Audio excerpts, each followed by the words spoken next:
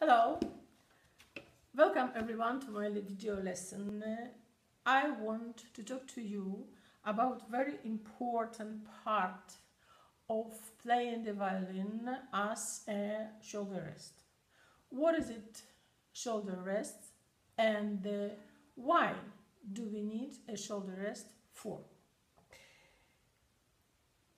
If you want to play the violin, you need to hold the violin in uh, some position with some angle. For example, correct position is like this.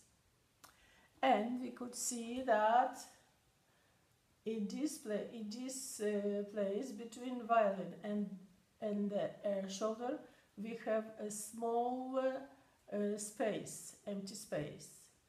But here there is uh, more large uh, distance between violin and this place on in our body. And uh, we can't hold our uh, hand in this position all time when there are a lot of empty, empty uh, space. And we can hold violin only in this position or in this position or in this position but in this situation we can't play the violin.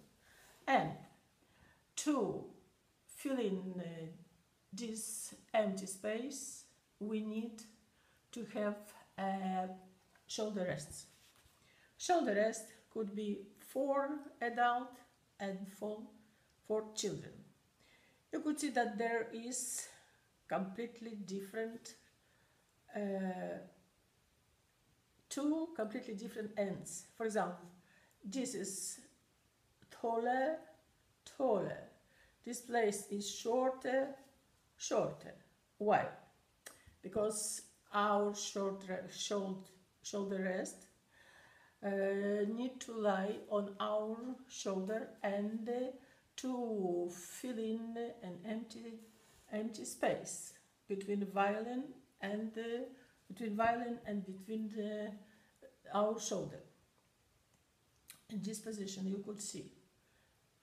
And without this stuff we can't to play fast, to play in the top positions, if we can't uh, to vibrate on the violin because without shoulder rest we have really discomfortable situation.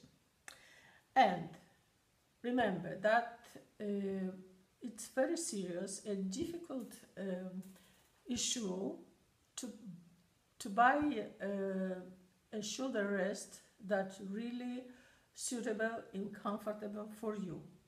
But we can uh, change. We can change it in a shop and you can change it not only one times but a lot of times. It's a normal uh, it's normal thing when you want to choose uh, the violin and show the shoulder rest that uh, will be really for you for your child. And uh, I had a student who changed I don't know 11 I don't know how many, but dozens shoulder rests.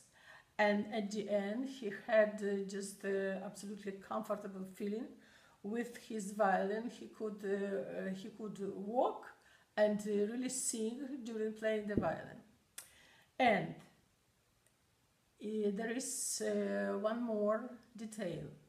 Very often, small children they just suddenly don't want to play the violin. Why?